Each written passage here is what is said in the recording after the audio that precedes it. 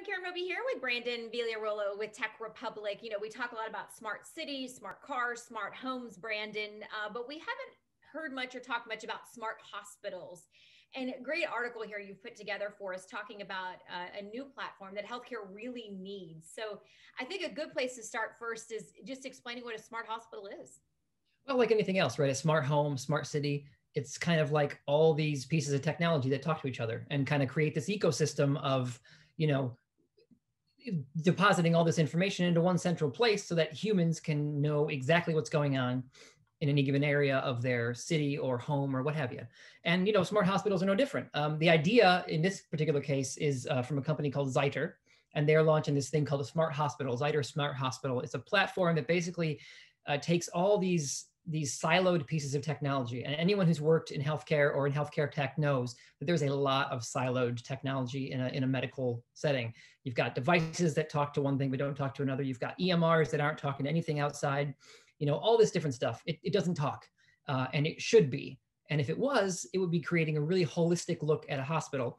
So Zyter's platform basically is doing that. It's putting all these things into one uh, into one dashboard that can be monitored by both healthcare leaders, nurses, uh, and even um, facilities. One of the things that I was surprised to hear is that they're even putting facilities management into this piece of software. So, you know, if you're a guy who works on, you know, keeping the hardware running in the background, HVAC or what have you, you're going to get notices about that too. So not only is it incorporating smart hospital tech, but it's also making the hospital building itself a smart building. Yeah, most certainly, it makes sense. And and this particular platform, uh, expand if you a little bit on some of the you know the specific uh, features of the platform. Yeah. So, uh, like I mentioned, one of the things they do is they have facilities management in there. So, you know, all your sensors, your your thermostats. Um, you know, you need new filters at somewhere. It's going to let you know all that kind of stuff.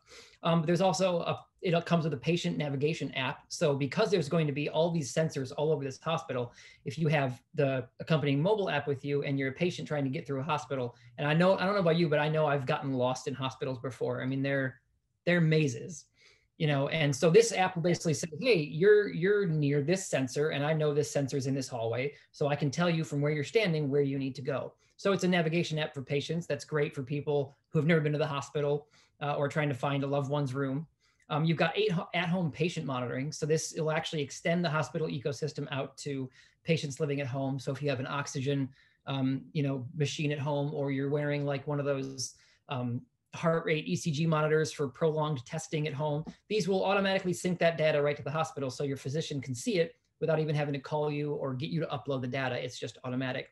Um, there's hospital bed device monitoring, and that's what Zyter calls kind of the cornerstone uh, of this software. So all the devices that would be at a patient's bed, you know, drip, uh, uh, heart rate monitoring, anything, any kind of different hardware that would be at a patient bedside, that's going to all be wired into this platform too. So, you know, a nurse sitting down the hall at the you know the floor watch area will get a ping knowing that you know something's up or you know a tube's come unplugged or what have you and they can do all that from one location so they can respond to issues quicker instead of having to hear the alarm going off you know halfway down a hall um, there's also physical patient tracking so this is specifically for you know if there's dementia patients that might get lost in the hospital or wander off the grounds or flight risk patients who could try to get off, get out of the hospital. This will actually notify um, the, the, the software if these patients are, you know, outside of areas that they're authorized or supposed to be in.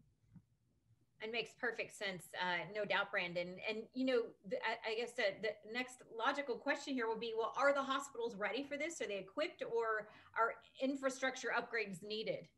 Yeah, and there's kind of two two answers to this, right? So there's the one, you know, the hospitals are going to need smart equipment. So if you've got ECGs or you've got these machines that don't have the necessary sensors, you're going to have to replace them or upgrade them in some way so that they can talk to uh, this platform. So yes, there's going to be some equipment upgrades necessary, but the hospital itself shouldn't need to upgrade any of its sort of you know infrastructure.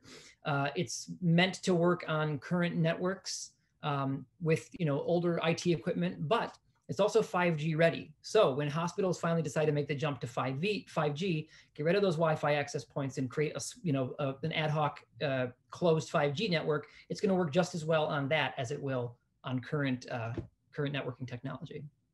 And you know, unfortunately, Brain, of course, the the the the one thing that every hospital we're all focused on right now with with COVID and so many hospitals overrun at this point. Uh, is there any indication that this could help, you know, with the, the COVID nineteen crisis?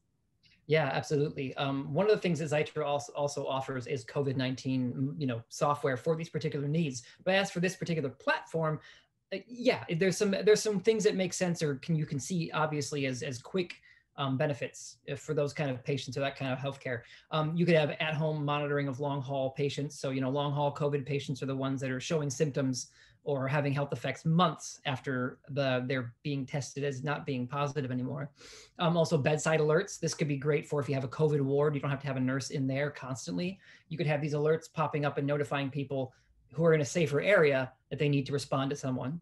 Um, and also, one of the other things that they mention is um, Bluetooth tagging of bottles as small as vaccines. So you can vaccine tag these things with Bluetooth so you can know if they're in the proper refrigeration environment, if they're being moved, you can track a chain of custody from the moment they enter the hospital all the way to the moment they're you know injected into a patient so these are kind of ways that it's not necessarily meant for covid-19 but you can see right away that this is going to benefit hospitals in this kind of environment or you know in future pandemics as well yeah, most definitely. Uh, all around sounds, uh, you know, very positive, Brandon, for the future of healthcare. Well, much more, of course, on Brandon's story can be found on Tech Republic, and we certainly hope you will check it out there. Thanks for being with us here today.